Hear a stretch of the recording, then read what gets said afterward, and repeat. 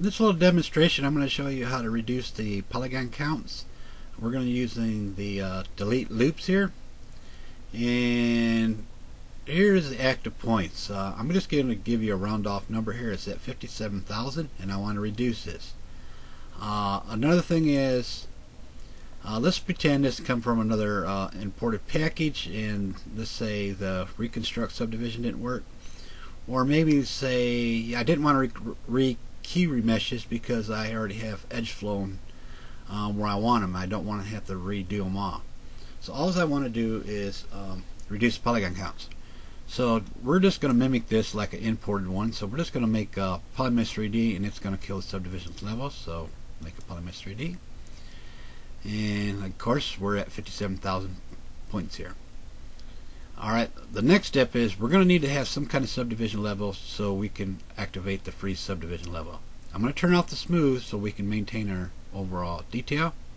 And we're going to divide this. Then we can freeze this.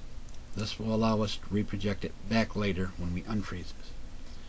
Um, the areas that we need to do is to make sure when we delete a loop is protect it. Alright, so I don't want any loops uh, deleted in this area here. Around the ears. And another thing the one of the important things is uh, down here at the bottom here where it's an open hole right here we want to protect that. Because I'm going to use some polish and if I don't protect it it's going to shrink it up. And it might not project right. I'm going to blur the mask once control click Then our next step is we're going to come down here and we're going to delete loops. Got the angle slider, some other um, things you can mess with. Well, I'm going to crank the angle up, all the way up. And remember at 57,000, then I'm going to delete the loop. And it knocked it down over 7,000. You can mess with this and do whatever you want.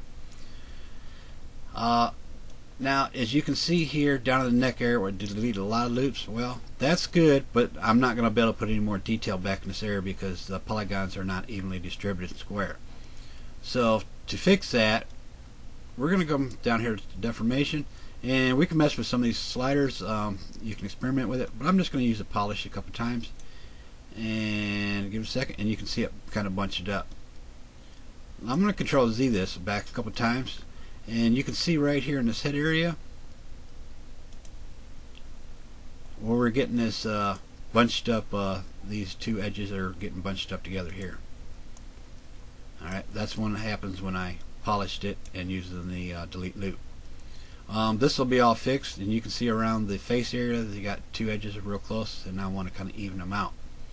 So my next step is to come down or up here and unfreeze this now when I unfreeze this there might be a problem. I'm going to show you how to fix that. So we're going to freeze it.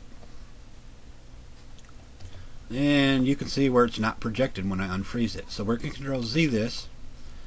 Go to subtool and we got the distance slider. We're going to crank it up a little bit, not full blast. You got to experiment with this. So we're going to go right here.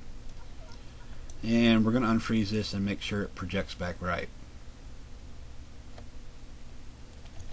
Okay, everything looks good. The bottom didn't shrink up, and uh, I'm to clear the mask. And if you notice, still up in the face area, we got these edges. I will turn the subdivision down to 1. And up by the face right here, and back by the back of the head, they're bunched up. So to fix that, we're going to press the cage and turn the cage back off and the magic is we're going to turn it up to number two. And now they just appeared. Disappeared. And move it back down to one. Now they're not bunched up anymore. So the polyframes and that's how you can reduce the polygon counts. So we was at uh, we knocked off almost 7,000 polygons from the original one There's the original one, 57,000, and the new one here. A little different right here in the neck area when I changed it, but it did reduce a lot of polygons. I paused the video and I'm doing a little recap here. I'm going to do something a little bit different. So uh, this time I'm just going to protect the area that I know is going to shrink up. So that's going to be this bottom half. Before I do that, we're going to turn off the smooth, divide it, then freeze it. And I'm just going to protect this area here. And I'm going to blur it. Then I'm going to come down here to the delete loop. And I'm not going to crank it up. I don't want a bunch of uh, loops deleted. Another thing is, um, uh, depending on how much mask you got in there, it depends how many loops it's going to delete. So I'm not going to crank it up. I'm just going to press delete loop. And before I do that, we're at 57,000. And we're going to delete loops. Now I'm at 16,000. Okay, and uh, still get a little bit of uh, a lot of polygons in this area, but it did remove quite a bit. And uh, we're going to go this polish. Be very careful not to do too much.